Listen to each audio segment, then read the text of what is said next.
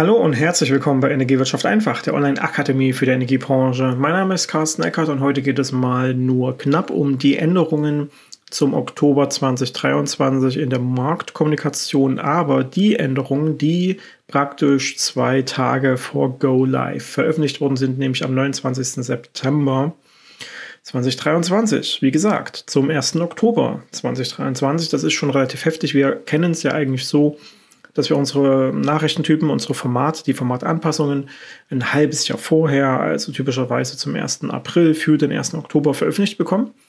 Und in den letzten Jahren mussten wir uns schon mal daran gewöhnen, dass es dann meistens eine, noch eine Zweiteilung gab, weil es ja viele Nachrichtentypen betroffen hat, viele Formate betroffen hat. Und man deswegen zum Beispiel nochmal im Laufe des Aprils, so Richtung Mitte, Ende, eine zweite Veröffentlichung für den Oktober dann hat.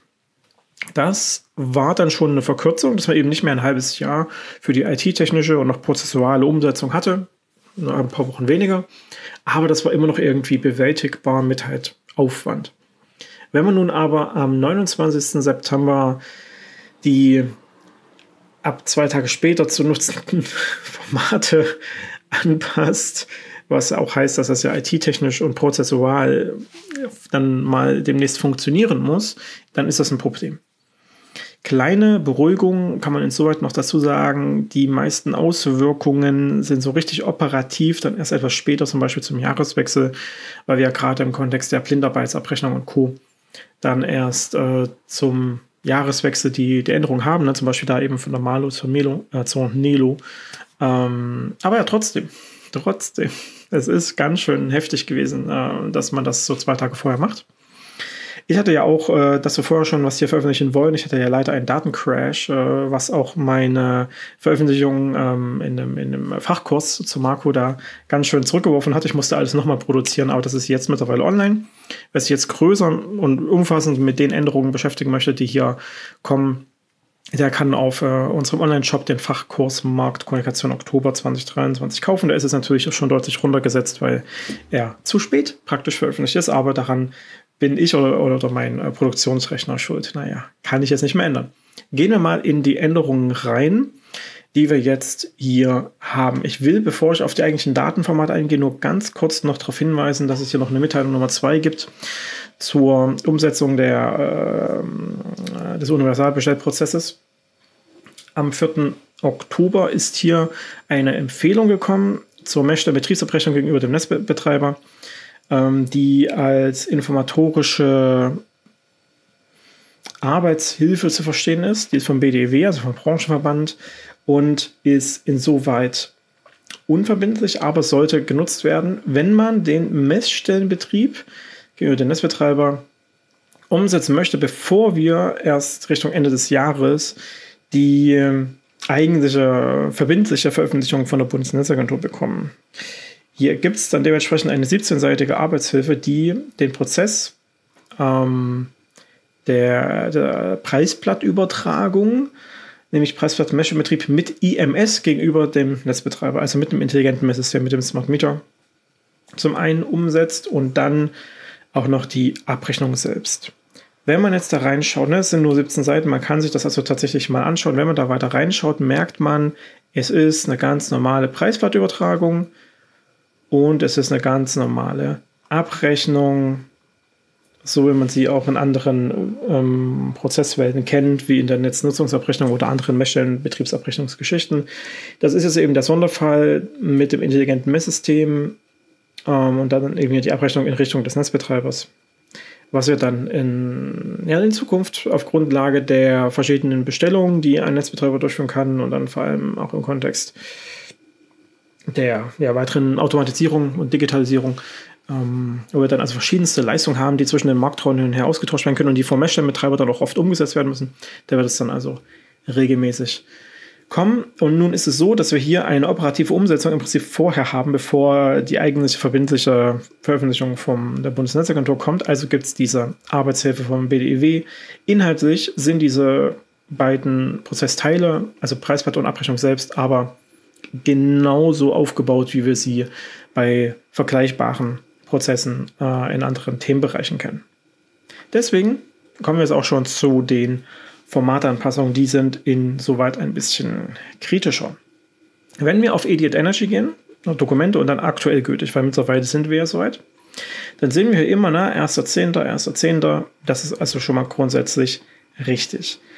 Worauf wir jetzt achten müssen, um unsere geänderten Dokumente zu finden, ist zum einen die Formulierung außerordentliche Veröffentlichung, die schon darauf hinweist, naja, es gibt eine außerordentliche Veröffentlichung. Also irgendwas ist hier noch und wir sehen ja auch, ne, es gibt die Normalversion 2.0e von der IFZA und dann gibt es die 2.0e außerordentliche Veröffentlichung. Das ist also ein zweites Dokument, das in diesem Fall also zum 29.09. rauskam. Und neben dieser außerordentlichen Veröffentlichung kann man auch noch den Ausschau halten nach den Dokumenten, bei denen hier eine Fehlerkorrektur zum Stand 29.09. steht. Diese beiden Formulierungen weisen darauf hin, dass wir dort Anpassungen haben, die jetzt kurzfristig passiert sind. Dann machen wir das uns mal ganz einfach und äh, suchen jetzt hier einmal nach dem 29.09. und sehen zwölf Ergebnisse. Dabei möchte ich darauf hinweisen, das ist eine Doppelung im Regelfall, weil wir hier die eigentliche konsolidierte Lesefassung haben. Das ist dann unser Arbeitsdokument, mit dem wir die Fehlerkorrekturen zu diesem Stand auch dann uns anschauen können. Und zum anderen gibt es immer noch die informatorische Leserfassung. Das ist ja etwas, was vor einer Weile eingeführt wurde. In dem Kontext, dass man da ne, einfach nochmal eine Word-Datei hat mit ähm, praktisch einer Vergleichbarkeit äh, von alt und neu. Was auch nicht schlecht ist. Naja, also kann man sagen, ne, wenn wir das als Doppelung sehen, sind hier sechs relevante Dokumente. Das haben wir bei der MS-Cons. Bei der Codeliste der OBIS-Kennzahlen. Wir haben das bei den Regelungen zum Übertragungsweg 2.0. Das ist dann auch wieder der ähm, AS4-Ansatz. Wir haben das beim AS4-Profil. Das sind vor allem dann technische Dokumente. Wir haben das bei der Partin, bei der UTMD Gas und dort sowohl beim MEG, also dem Implementierungshandbuch, als auch beim AHB, dem Anwendungshandbuch. Und dann sind wir auch schon wieder oben. So, okay, das waren jetzt also diese Fehlerkorrekturen Stand 29.09. Und dann, wie gesagt, die außer, äh, ach, falsch, Tastatur, Moment, außerordentliche, so. Und da haben wir jetzt hier 20 Ergebnisse. 20 Ergebnisse. Ähm, wir können ja mal versuchen, ganz oben zu starten. Auch hier prinzipiell von einer Doppelung ausgehen, weil es auch hier die informatorischen immer gibt. Wir sehen das jetzt beispielsweise bei der IFSTA äh, im MIG und im AHB, also in diesem Status-Nachrichtentyp. Wir sehen das in der Orders, Bestelldokument. Wir sehen das in dem Sammelanwendungshandbuch für die Recrodes, die Quotes, die Order, Order Response und Order Change, also für den gesamten Bestellungs- und Angebotsprozess. Wir sehen das außerdem bei der Codeliste der Artikelnummern und Artikel-IDs, also die Meshten-Produkte oder anderartigen Produkte, die äh, ähm, hier äh, mit einem Preis versehen werden können, also auch die Umlagen, auch die ähm, anderen Aspekte, die in der Rechnung einfach stehen könnten, also verschiedene äh, Leistungen, die ähm, abrechenbar sind. Die sind ja noch getrennt in alte Version Artikelnummer und neue Version Artikel-IDs, gerade auch nochmal spartentechnisch Gas und Strom. Da gibt es Anpassungen. Wir haben das bei den Entscheidungsformdiagrammen und Codelisten und bei den Prüfidentifikatoren und bei der UTMD Strom, sowohl im MIG als auch im AHB. So, jetzt wissen wir das. Es ist also schon mal relativ viel. Dafür, dass es zwei Tage vor Go Live passiert, weil, naja, nochmal, gültig von 1.10.2023. Also, das dann zwei Tage vorher zu machen, ist wirklich ein bisschen knapp. Aber es gibt da wohl verschiedene Rahmenbedingungen, die äh, das nicht verhindern ließen. Es gibt auch im Prinzip vom BDW die Aussage, äh, schade, dass das jetzt so kurzfristig war, aber im Großen und Ganzen, wir können nichts daran ändern, dass wir noch im Laufe dieses Jahres ja eine, oder zum Jahreswechsel dann ähm, eine operative Wirkung von verschiedenen Prozessen haben, dass wir aber gesetzliche Rahmenbedingungen haben, die sich irgendwann mal geändert haben. Wir werden nämlich gleich sehen, dass es unter anderem am Energiefinanzierungsgesetz liegt und auch am Energiewirtschaftsgesetz, was hier gemacht wird. Und äh, dass das ja jetzt aber auch operativ umgesetzt werden muss, jetzt. jetzt. Nicht dann erst zum April zum Beispiel nächsten Jahres, ne, wenn wir die typischerweise nächste Anpassungsrunde hätten, sondern jetzt. So. Woran liegt es nun also? Dafür gehe ich nochmal kurz zurück zu mir. Woran liegt es? Wir haben zum einen im Energiefinanzierungsgesetz, das ist ja ähm, ein, eine Neueinführung vor zwei Jahren gewesen, ein, vor ein, zwei Jahren, bei der es darum ging, es sollte ursprünglich Energieumlagengesetz heißen, dass man so eine Sammlung macht jetzt von allen relevanten ähm, Finanzierungsbedarfen und auch Verteilungsmöglichkeiten äh, von eingesammelten Geldern praktisch, dass man die eben alle in ein Gesetz schreibt. Ne? Und äh, wenn es jetzt also zum Beispiel Rahmenbedingungen gibt, die dafür sorgen, dass ähm, eine Marktlokation privilegiert werden kann bei einer Umlage, bei einer Abgabe, dann muss das da in dem Gesetz also stehen. Tut es auch. Und dann heißt es aber auch, dass bei bestimmten Marktlokationen mit bestimmten Eigenschaften äh, zum Beispiel dann eine Privilegierung reingeschrieben werden kann, die dann eben sagt, ne, bei dieser Marktlokation wird eine bestimmte Umlage geringer verrechnet. Ne? Also Wirkung aus diesem Energiefinanzierungsgesetz in unsere operative Abrechnungswelt. Und äh, genau das ist einer der Gründe, warum wir jetzt hier äh, Anpassungen haben. Das werden wir dann gleich noch sehen. Wir gucken in zwei konkrete Beispiele mal rein. Energiefinanzierungsgesetz ist da also Thema. Und zum anderen haben wir die Paragraph 14a ähm, Energiewirtschaftsgesetz-Thematik, die steuerbaren Verbrauchseinrichtungen, die ja nun auch integriert werden sollen, weil zum 01.01.24 dort ja auch jetzt das Go Live ist ähm, für Anlagen einer bestimmten Größe, die dann in Betrieb gehen würden, also ab dann in Betrieb gehen würden. Ob die eben jetzt in die, ich sag mal, Steuerbarkeit ähm, unbedingt sofort einfließen müssen oder erst nach einer gewissen Übergangszeit oder ähm, die von vornherein praktisch nicht in Frage kommen, weil sie vielleicht zu klein sind. So, auch da gibt es also jetzt Auswirkungen, dass man praktisch ähm, nochmal bestimmte Eigenschaften rund um Paragraph 14a ähm, hinterlegen will. Und da merken wir schon, es geht zum Beispiel um Stammdaten, es geht dann auch um Statusmeldungen und so weiter. Wir werden das dann sehen. Und äh, ja, wie gesagt, diese noch nicht abgeschlossene Festlegung auf, aus der Bundesnetzagentur, die jetzt eben auch dafür sorgt, dass hier zum Beispiel die Semesterbetriebsabrechnungsgeschichte das so ein bisschen geändert wurde. Ne? Also verschiedene laufende äh, Themen, die in der ursprünglichen Festlegung unserer Datenformate zum 1.10. Ähm, also noch nicht so vorlagen und ähm, mittlerweile aber ihre Wirkung entfaltet haben, auch bald operativ wichtig sind. Also müssen die jetzt noch schnell reinkommen. Das ist im Großen und Ganzen der Hintergrund. Und dementsprechend gehen wir jetzt einfach mal in ein, zwei Beispielthemen. Ich glaube, interessant ist auf jeden Fall die IFSTAR, weil wir dort schon einen ganz relevanten Teil der Themen finden können. So, jetzt musste ich kurz schneiden, weil ich habe tatsächlich blöderweise äh, das falsche Anwendungshandbuch geöffnet, also die falsche Version, äh, eben nicht die mit der außerordentlichen Veröffentlichung und habe dann irgendwann bemerkt, irgendwie fehlt mir hier äh, die Angabe, mit der ich, die ich euch zeigen wollte. So, wir gehen jetzt also in das MEG und in das Anwendungshandbuch. Das MEG-Implementierungshandbuch beschreibt da, welche Inhalte überhaupt in das Dokument rein können, also in diese Statusmeldung. Und das AHB beschreibt, in welchen konkreten einzelnen Prozessanwendungen welche Zusammenstellung von Inhalten richtig ist. Ja, also welche Pflichtangaben in welchem Prozess praktisch angewendet werden müssen.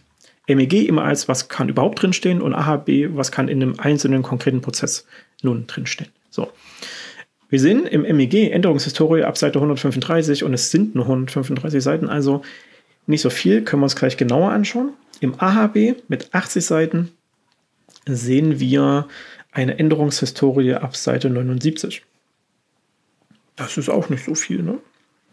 Kann man sich also auch mal ruhig anschauen. Und man kann jetzt, glaube ich, hier schon ganz gut anfangen, wenn wir jetzt einfach mal reingehen in die erste Zeile im AHB und wichtig ist auch hier nochmal ganz, ganz wichtig bei diesen Dokumenten. Ihr seht hier hinten Anpassung 29.09.23. Nur das ist jetzt diese ganz kurzfristige Anpassung. Wenn da drunter steht Fehler 20.07.23, dann ist das jetzt mit reingekommen, aber ist es gar nicht so kurzfristig veröffentlicht worden? Ähm, oder ist es gar nicht so äh, aus, aus dieser neuen Thematik? Na, das ist auch wichtig, dass das hier diese Fehlerkorrektur stattfindet, aber die kam jetzt nicht vom 29.09. Die war vorher schon in den Datenforen äh, unterwegs, ähm, ist schon in einer Umsetzungsfrage gewesen oder vielleicht auch schon in einer vorigen veröffentlichten ähm, Lesefassung gewesen, wo praktisch dieser Fehler bereits äh, aufgeführt war. Also guckt jetzt hier immer nach Anpassung 29.09. So. Und dann sehen wir hier ein Kapitel. IFZA-Anwendungsfälle in den GPKI-Prozessen heißt jetzt IFZA-Anwendungsfälle vorwiegend in den GPKI-Prozessen und dort gibt es ein neues Kapitel Informationen zur Privilegierung nach NFG, Energiefinanzierungsgesetz, vorhanden. Das ist also ganz neu, vorher nicht vorhanden, ne? bisheriger Stand nicht vorhanden, neuer Stand vorhanden. Das ist jetzt also komplett neu und wird hier berücksichtigt. Man könnte es also zurückscrollen in das Inhaltsverzeichnis, in dieses Kapitel springen und hat dann eine tabellarische Auflistung, was in diesen Prozessen da anzugeben ist. Wir können aber auch hier einfach mal noch kurz in der Änderungshistorie bleiben, ein bisschen weiter runtergehen. Sehen wir hier zum Beispiel äh, auch hier eine Fehlerkorrektur 29.09. Ähm, da steht hier, ne, der, der String Datenelement 6060 hat an dieser Stelle nichts zu suchen. Das ist tatsächlich einfach nur ein Bedingungsfehler gewesen und hat keine so unmittelbare operative Bedeutung aus diesen kurzfristigen Themen, sondern war einfach nur ein ernstzunehmender Fehler, der jetzt erst aufgefallen ist, dass in diesem alten Stand ne, dieses Datenelement in der Bedingung einfach gar nicht so zu stehen hat. Alles klar. Also sehen wir, inhaltlich, operativ inhaltlich, ist in dem Anwendungshandbuch nur dieses Kapitel mit den Informationen zur Privilegierung neu. Gucken wir gleich nochmal rein. Im MIG, Überraschung, Überraschung, sind wir beim selben Thema. Anpassung 29.09. wird zum Austausch der Informationen für die Privilegierung der Netznutzung von Marktlokationen nach NFG benötigt. Es gibt dann nämlich hier eine Ausprägung im SG 14 CNI log SG 15 den Grund der Privilegierung nach NFG. Alles klar. Das ist also das Neue und ist hier in der IFSTAR und ich weise auch schon mal darauf hin, was wir jetzt hier lernen, steht so auch in der UTMD zum Beispiel. Das ist also auch eine Änderung der, in der UTMD, wo wir eben die Stammdaten für diese Privilegierung hinterlegen. Haben wir hier auch noch so eine Art wie Statusmeldung, die dann eben auch darauf hinweist, ne, dass diese Privilegierung dann auch äh, wirkt. So, also kleiner Trick, wie immer in diesen Dokumenten, weil die ja viel zu groß sind, um einfach so herumzuscrollen. Wir suchen es einfach mal nach NFG also sehen wir hier schon eine ganze Menge an Ergebnissen. Ähm, wir können es aber dann relativ schnell finden. Ne? Hier steht nämlich schon genau das, was wir gerade äh, angesprochen haben. CNI log SG15. Das hier ist der Änderungsort, an dem jetzt angepasst wurde. Grund der Privilegierung. Und hier ist dann am Ende des Tages ähm, in diesem Segment, dann erstmal hier nochmal die Öffnung Z41 Grund der Privilegierung. Also dahinter steht dann jetzt gleich der Grund oder die Gründe.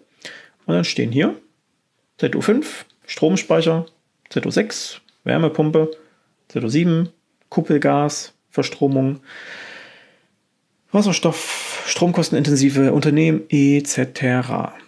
Landstromanlage. Ne? Also hier haben wir eine Auflistung von Privilegierungsgründen nach Energiefinanzierungsgesetz, die dafür sorgen, dass praktisch in einer Marktlokation ähm, irgendeine Berechnung niedriger angesetzt werden kann. So. Und wenn wir dann sehen, dass das hier nochmal aufgelistet wird und nochmal und nochmal und nochmal, dann liegt das vor allem daran, dass man, und das sieht man dann hier auch im Beispiel, mehrere Gründe nacheinander auflisten kann. Die Privilegierung kann sich aus mehreren Einzelbestandteilen ergeben und dementsprechend sind auch mehrere angebbar. Na, dann sieht das aus wie SDS für dann eben diesen Status. Z41 war wie gesagt Grund der Privilegierung und dann hinter dem Plus Plus sehen wir dann den eigentlichen, die eigentlichen Angaben Sector 5, das war ähm, der, der erste Teil, äh, ich glaube, der Speicher, Wärmepumpe, Kuppelgas und so weiter. Ne? Diese einzelnen Auflistungen, die dann ähm, inhaltlicher Natur sind.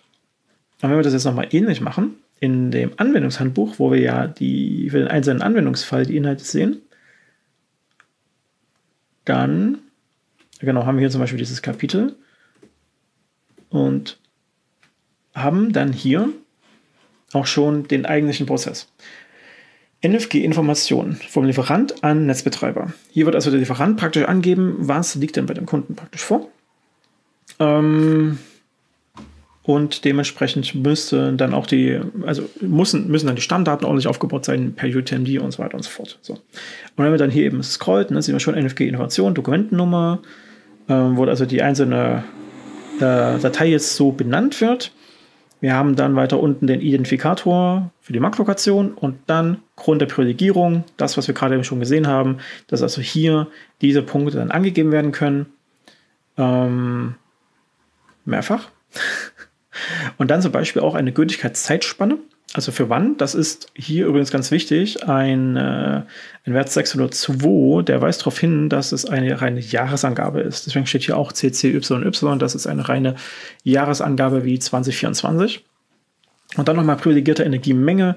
Da kann dann also wirklich die Menge selbst eingetragen werden, die privilegiert ist. So. Und dann war es auch schon. Ne? Erreichte Menge in dem Intervall mit Kilowattstunden, Kunde und das war es dann auch schon. Na, da sind wir auch schon beim nächsten Dokument. Also relativ klar, was hier in der IFSTA passiert.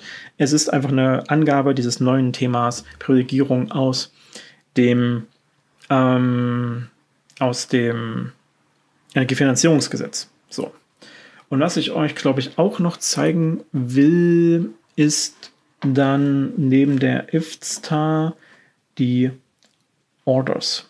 So, die Orders dann nehmen wir einfach mal nur das MEG. Ne? Das, das, sollte hier sogar reichen. Auch das MIG, ähm, außerordentliche Veröffentlichung. Weil das Anwendungshandbuch ist ja das Gemeinsame, ne? wo wir dann äh, die ganzen einzelnen Punkte hier sehen würden. Wir gehen also in das Orders MIG und sehen auch hier ne, Anpassungen wegen Festlegungsverfahren zur Integration von steuerbaren Verbrauchseinrichtungen. Das, zweite große Themenfeld, Paragraph 14 Energiewirtschaftsgesetz. Auch hier ähm, gucken wir im Zweifel also in die Änderungshistorie, die witzigerweise auch nur auf einer Seite steht. Also auch relativ gut überblickbar. Und wir sehen, alle diese drei Zeilen haben etwas mit Paragraph 14a zu tun. Es ist also hier auch eine relativ klare Geschichte. Das können wir uns jetzt genauer anschauen. Es gibt im BGM, das ist der Anwendungsfall dieser jeweiligen Nachricht, eine neue Angabe, Z84, Bestellung, Änderung, Netzentgelte aufgrund netzorientierter Steuerungsmöglichkeit. Mit dieser Orders, Bestellformat, würde jetzt also gesagt werden, hey, ähm, weil wir gemäß ähm, 14a steuerbare Verbrauchseinrichtungen die Netzdienste nicht einsetzen, ähm, werden jetzt auch die Netzentgelte verringert und wir bestellen jetzt praktisch auch diese Verringerung beim Netzbetreiber. So. Und das Ganze hat auch einen Prüfidentifikator. Also immer wenn es ein neues BGM gibt, gibt es auch einen entsprechenden Prüfi. Das ist also zu Z84 hier die 17010. Und dann sehen wir einfach unten eine Segmentausprägung, erforderliches Modul der Netzentgelte, wo wir dann ähm, LIN, SG30 und CCI haben. Und dort werden wir dann auch die einzelnen Punkte finden können, die darauf hinweisen, ähm, was jetzt dahinter steckt, also wie diese ähm, Netzentgeltreduzierung aussieht, weil es da ja verschiedene Modelle gibt. Da sind wir mal kurz darauf eingegangen, als wir diese ähm, Dokumente von der BNSA uns angeschaut hatten, die ja damals konsultiert worden sind. Also insoweit ist das relativ klar. Ne? Also da, da, ist auch nicht viel mehr passiert in dieser Orders. Beispielsweise in der Order Response wird genau darauf wieder referenziert, eben als Antwortmöglichkeit. Da kann man diese beiden Formate auch wieder relativ schnell abhaken, wenn wir uns daran erinnern, dass wir relativ viele Suchergebnisse hatten, die zum 29.09. angepasst worden sind. Hier nun also, ähm, ja, kann man mal sagen, wie, wie machen wir das sinnvollerweise? Wir suchen vielleicht einfach mal wirklich nach netzorientiert. So, dann sehen wir hier oben beispielsweise unsere Z84 als BGM, also als ja, Anwendungszweck sage ich da immer gerne äh, in, im Beginn der Nachricht. Hier wird dann immer angegeben, was für eine Art von, in diesem Fall Orders, ist das überhaupt? Na, also ist das eine Orders, ähm, die ihr etwas Bestimmtes bestellt? Und dann sieht man anhand des Codes, was bestellt sie denn? So, in unserem Fall die Z84, klar. Und ähm, dahinter ist dann meistens noch die, genau, die Identifikationsnummer, mit der die äh, Nachricht selbst eindeutig identifiziert werden kann. Ne? Also BGM plus, dann hätten wir unsere Z84 plus und dann die ID-Nummer. Alles klar. Der Prüfi 17010, den wir gesehen haben, ne? Prüfidentifikator als Referenzsegment. Und dann bin ich schon wieder unten. Ah, Moment, dann muss ich das jetzt mal wahrscheinlich anders machen. Ah, na hier, ganz einfach. Ich suche nach erforderliches Modul der Netzentgelte. Ja. Äh, ja, machen wir das doch einfach mal so. Erforderliches Modul. Erforderliches Modul. Und das sieht dann schon viel besser aus. Wir sehen hier die äh, Segmentausprägung und haben dann hier auch schon den eigentlichen Beginn. Da wird es praktisch nur die Segmentgruppe geöffnet, in der dann weitere Angaben gleich stehen werden. Und hier haben wir dann das eigentlich Relevante, nämlich das CCI, in dem dann steht seit 62 Modul der Netzentgelte. Und dahinter dann, wie wir es hier unten auch sehen können, vielleicht ist es relativ klein, Moment, wo wir dann dahinter sehen können, eine, eine Grundangabe oder eine, eine inhaltliche Angabe, die jetzt darauf hinweist, wie es dazu kommt oder in welchem Modus das Ganze immer jeweils läuft. Und das sehen wir hier, drei Varianten. Pauschale Netzentgeltreduzierung, das ist das Modul 1 aus der ähm, Prozessbeschreibung oder beziehungsweise den, den Rahmenbedingungsdokumenten der Bundesnetzagentur zu äh, 14a. Wenn es nicht pauschal ist, dann haben wir eine prozentuale Reduzierung im Arbeitspreis nach Modul 2, das wäre dann ZG4, oder ZG5 das Anreizmodul, zeitvariables Netzentgelt, ähm, was dann praktisch nochmal so ein bisschen ähm, besonders lukrativ sein kann, wenn man besonders netzdienlich sich einsetzt. So. Diese drei Module kann man ja dann je nachdem auswählen, wenn man hier als ähm, ja, netzdienlich operierender steuerbarer Verbraucher unterwegs ist. Und diese Elemente geben dann jeweils an, welches, mh, hm, welche Variante davon genutzt wird, also welches Modul dieser Netzentgeltreduzierung in Frage kommt. Ja, und so ähm, ist das Ganze dann auch schon aufgebaut. Äh, das war es dann an dieser Stelle schon äh, im, im, Großen und Ganzen. So, und äh, wenn jetzt so ein, so ein Status hier dahinterlegt wird, dann ist klar, dass ähm, die Entgeltreduzierung gemäß dieses Moduls laufen soll und dann kann der Netzbetreiber in seiner Netz, ähm, ja, Netzentgeltabrechnung dieses Stammdatum aus seinem System aufrufen, weiß, alles klar, hier gibt es eine Reduzierung anhand eines Prozentwertes oder wie auch immer. Und dann wird es in der Abrechnung entsprechend schon berücksichtigt in der Netzabrechnung, die dann erstmal an den Lieferanten geht und dann weitergereicht wird. Ist also ein absolut ähm, logischer, logischer Punkt, an dem jetzt hier etwas geändert wird. Dadurch entstehen dann äh, Stammdatenhinterlegungen und die werden dann bei der Abrechnung einfach gecheckt und entsprechend verringert wird abgerechnet. Jo.